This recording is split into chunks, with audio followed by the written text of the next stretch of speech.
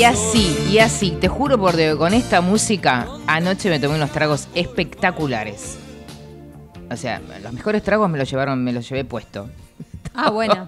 Unos a uno. Ahí, en donde, en la academia, en la academia Branca. La verdad, Sinceramente, cuando me fui, le dije a las chicas que me invitaron y a los espacios en donde estuve, eh, en distintos lugares, los periodistas decíamos, qué bueno, qué interesante la jugada y la mirada que alguien pueda ponerle cabeza, creatividad en una empresa y diga, bueno, mira, sabes que en todos los lugares se puede hacer el desarrollo que significa inclusión, diversidad, empleo eh, y desarrollo personal. Y ahí está Academia, por segundo año, la Academia Branca. Por eso, en este sentido, Vamos a hablar. Hace un ratito nada más estábamos cruzando información aquí justamente con, con Sofía porque le dije, mira, tengo un Fernet que voy a traer para el domingo acá cuando tengamos que vivir las elecciones porque es un, es un, es un nada, veremos qué es lo que puede llegar a suceder. Es un signo de interrogación y para eso lo vamos a beber, para pasarlo un poquito bien. Juan Luciani es embajador de Carparo Pant eh, y Fórmula en Argentina. Él lo va a decir mejor que yo, ¿eh? lo va a decir mejor que yo, porque se trata de esto, de la academia que, la academia Fratelli, Fratelli Branca, que tiene que ver con esto, con inclusión, con diversidad, pero mejor que él lo cuente seguramente más preciso que lo que estoy diciendo yo. Eh, hola Juan, ¿cómo estás? Sara y Tomás te saluda aquí en Tercer Tiempo. Sara, ¿cómo estás? Eh, no sé si mejor que vos, ¿eh? pero voy a tratar de sumar a todo esto que dijiste, que, es muy cierto. Bueno, la verdad que me encantó. Hablábamos este, ahí con un colega de Telefe que también tiene que ver con todo esto de que hacemos eh, cuando las empresas le ponen una vuelta de rosca y en el core del negocio, em, en el corazón del negocio está una mirada diferente. ¿eh? Ahí estaba también Carolina del Hoyo que planteó esto, ¿no? Lo que significa la empresa como concepto de familia y me llevó, la verdad que me derretiste el corazón porque soy italiana, o por lo menos tengo parte de esa sangre, ¿no? Eh, bueno, y me derretiste el corazón. Eh, pero bueno, contanos en realidad cuál es el foco de aquí en adelante y ya además que se cosechó y cuál es la huella que se generó. Un poco lo que dijiste al principio, Sara, la, la idea es nosotros apoyar a un sector muy importante de la gastronomía argentina o de la industria de la hospitalidad que es la alta coctelería y, el mundo de los bartenders. Bien decías también, Branca está en la mesa de los argentinos, pero también está en la alta coctelería. Y el objetivo, si me preguntás, es enaltecer en parte la figura del bartender y la coctelería argentina y de la región. En el último tiempo hubo, hubo un resurgir de, del consumo responsable y, del beber bien, que dicta mucho de beber mucho, beber bien es una cosa, beber mucho es otra cosa, y ahí estamos nosotros con el objetivo de profesionalizar a los bartenders y por ende a la profesión. Bien. A, todo lo que tenga que ver con la, con la coctelería y con el consumo de, de, buenas bebidas. Sabés que hace un tiempo, yo contaba acá antes de que te, te, llamaran, eh, hice una nota a Mónica Galossi hace bastante. Eh, eh, cuando ella comenzó a armar su espacio, ¿no? Y un día le pregunté, ¿cuál es el pendiente en tu lugar, ¿no? Porque hay pocas Mónicas Galossi. Y ella decía que haya más mujeres. Eh, que se rompa con determinados sesgos de, de la coctelería o de ese lugar que el varón llega acá y cree que en la barra se suceden un montón de cuestiones. ¿Crees que faltan mujeres y que eh, en este sentido la academia va a profundizar ese espacio? la academia lo tiene como, como objetivo, pero no, no sumar mujeres, sino apoyar al segmento. De hecho, nosotros no hablamos de la palabra barman, nosotros hablamos de la palabra bartender, que de entrada ya no distingue género. Bien. Eh, ser bartender eh, no, no, no, o sea, el hombre no tiene más condiciones que la mujer para ser bartender. Capaz que a la hora de levantar cuatro cajones de cerveza puede haber una diferencia, pero no pensamos en en esa diferencia. Sí pensamos en favorecer a la industria, hacer un, una industria o un ambiente mucho más sano y, o amigable capaz que para la mujer. Mira a la hora de profesionalizar el sector puede ser un lugar bastante más amigable. Bien. Acá y en cualquier parte del mundo el número de, bartenders hombres es mayor al de las mujeres. Sí. La verdad que no sé eh, por por qué, capaz que porque es hasta hace muy poco era un terreno bastante hostil para, para la mujer, pero ya te digo, se idolatra mucho a Aida Coleman, que fue en 1920 head bartender del Savoy de Londres. Y después fueron todos head bartender hombres, pero yo no creo que tenga que ver con el género, sí que las mujeres se acercan menos a trabajar en la barra que el hombre. Pero la realidad es que eh, no hay distinción de género. Sí lo que nosotros trabajamos es en hacer un, una industria un, o un sector mucho más profesional. Al ser más profesional, se cuidan algunos detalles eh, que van a hacer que la industria mejore y que probablemente sea un lugar de vuelta más amigable para, para la mujer. Lo mejor que puede pasar es que sea más equitativo, pero, pero no hay una algo que trabe para que las mujeres, no, no, me no me gusta hablar de las mujeres o de los hombres, ni de un cóctel de hombre o un cóctel de chica, eso no, mm. no me, no me, no me, no, no, hago de eso una historia, lo que sí es verdad es que hay menos mujeres que hombres en el sector. Y para eso también estamos trabajando. Bien, bien. Sofía tiene, Sofía Andretti, una eh, periodista de deportes y quiere hacerte una pregunta. ¿Qué tal, Juan? Sofía. Sofía, ¿cómo estás? Un, placer. Bueno, justamente vos recién hablabas eh, de esta cuestión de que se está revalorizando la coctelería. Es verdad que, no sé, yo hablo puntualmente de la ciudad de Buenos Aires, pero digo, que hay muchas ofertas de, coctelería y demás, pero digo, en general en el país, en líneas generales, ¿cómo está el sector en cuanto a las salidas laborales? Digo, lo comparo, no sé si puedo hacer esta comparación, pero con el mundo de los cafés, que digo que cada vez necesitan más gente para que sepa preparar café, como que veo muchos muchos pedidos de laburo de, gente que sepa hacer, no sé, la hojita en el café, el corazoncito, digo, ¿cómo están en, en cuanto a los bartenders?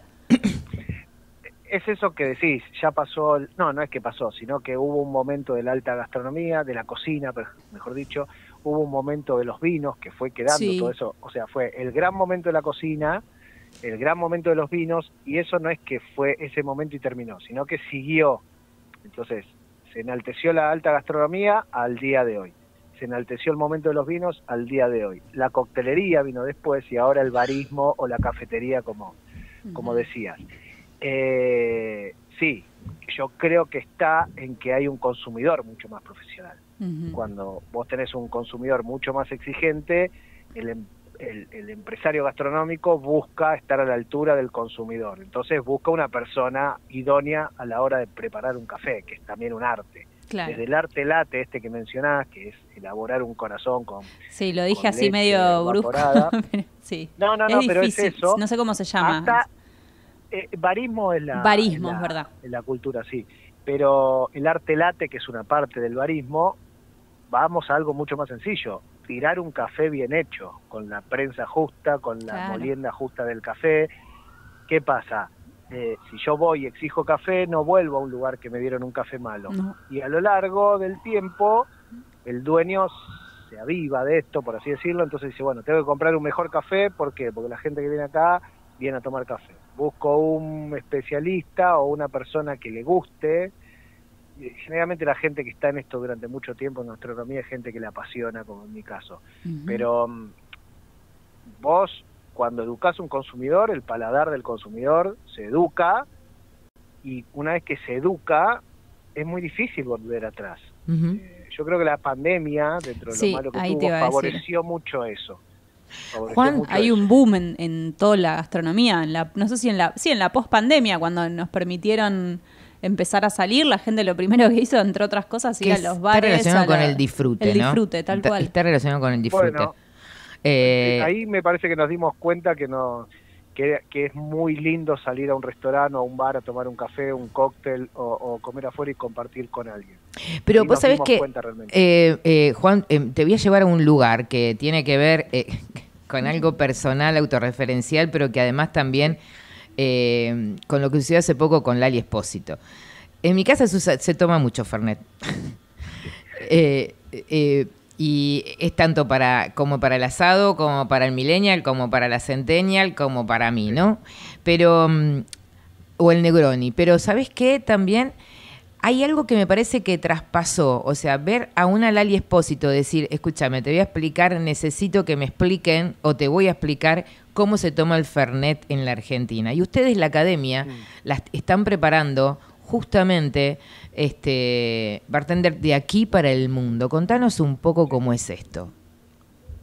Bueno, Lali hizo algo que es eh, salió de, de- de ella elaborar un fernet como hacemos con un grupo de amigos, Sí. de, forma eh, nada, lúdica de, de cómo se monta un fernet. El fernet, en ese caso, el fernet, como casi cualquier bebida, tiene una magia que es compartir. El tema de beber es compartir un rato, un momento, capaz que no del mismo vaso, pero eh, compartir. Lo que nosotros hacemos desde Academia Branca es entrenar a nuevas generaciones, vamos a, por, por orden, entrenar a nuevas generaciones para que esas nuevas generaciones no dejen de tomar un Fernet con amigos en una botella cortada, porque es, es, es Es la esencia. Es el fuego, no me lo tires, Sí, Juan, sí, abajo. sí. No, es el fuego. no, no lo estoy tirando abajo, de hecho lo estoy capaz enalteciendo. Pará, no te, que per- perdón que te interrumpa. Sí. ¿Vos te acordás lo que No, sí. fue a fines de, de- del año pasado y el Mundial? Que, que, Sí. que nada, que me olvidé del mundo. Bueno, ¿quién no tenía un vaso de Fernet en la mano caminando en la calle? Mira, La si botella. queremos hablar de Sí. Fernet y de todo esto que están hablando, podemos estar horas porque el Fernet es, es, un, es, una locura lo que ocurre con... Bueno, vayamos un ratito ahí y volvemos a la academia, porque me parece fantástico Sí. que generen desde esta cultura, justamente se apropien de esta cultura, porque si ustedes se apropian de esta cultura, la están exportando al mundo, y eso es cultura argentina, cosa que me parece fantástica, más allá de, obviamente, de tomar un buen trago en un determinado lugar, pero exportar esto produciendo desde acá, bartender, es fantástico. Yo ya ayer salí encantadísima del lugar. Eh, Bueno. pero bueno, vayamos acá. A ver, ¿qué es lo que sucede con, con- con esta magia que, que genera el Fernet en la Argentina? Y después te pregunto otra cosa. No, el Fernet genera, qué sé yo, el Fernet con coca específicamente. Fernet Branca es una empresa que nace en Italia en 1845, llega acá a Sí. Argentina por, por los inmigrantes, no voy a ser redundante en eso, Sí. pero la mezcla del Fernet con coca es lo que nos identifica acá y en nosotros. cualquier parte del mundo. Sí. Yo voy a un país extranjero y me reciben con un Fernet con coca. sí. Esa mezcla... Y a los cordobeses en un momento, ¿o no? Sí, claro, los O cordobeses. sea, es el Fernet como que te dicen, no, es de Córdoba, ¿no? De otro lado. O sea, Pero apropiaron- Claro, claro, claro. Pará, no lo interrumpamos, Bueno, dale. Y entonces, Una, una de las teorías es que nace en Córdoba por el negro Becerra, que era un Sí, músico, y sí. él mezcló Fernet con, con gaseosa cola. sí, Eh, y de ahí se hizo muy fuerte en Córdoba. sí. Pero la realidad es que no se puede creer lo que se consume Fernet con coca acá y lo que se exportó al mundo como parte de la idiosincrasia argentina. Vos ¿Después del Mundial? que- ¿Después del Mundial, Juan? ¿O, o- no, o después, el Mundial favoreció un poco porque Sí. los jugadores estaban arriba del micro tomando Sí, por eso te digo. Y con una botella cortada. Un O sea que para vos fue la publicidad un- más mágica del mundo. O sea, o y sea, orgánico. y- Nosotros no pagamos por eso. No, ya lo sé, fue- eh, implícito. claro, por que- supuesto.